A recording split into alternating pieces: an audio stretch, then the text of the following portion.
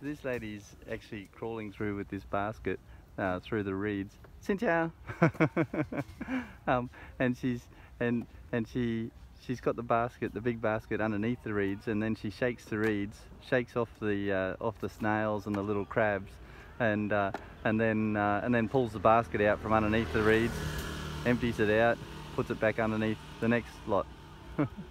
See that? um, so it, it's just amazing here.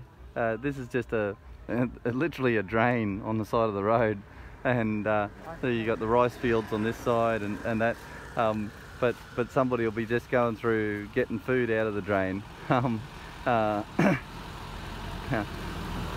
and and those snails, they actually sell for a fair bit at the market. Um, uh, but see how just shakes the reeds above the basket and and then uh, lifts it up, gets the snails. take, take, come on, come on. Uh, and little fish. They actually have these little crabs that live in the rice fields too, called a, a village crab. And yeah, and she didn't take all the snails either. No, so she must take, take Big- the, big- leave big. the little ones there. Hey, mm.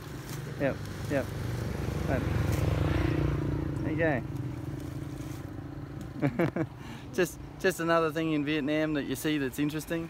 Um, and, uh, and me and my mum are going out to the family's house for dinner. Um, hopefully we're not eating snails out of the drain. Um, um, but you know, they've, they've been on the menu before, so they could be. All right, bye-bye. Bye-bye.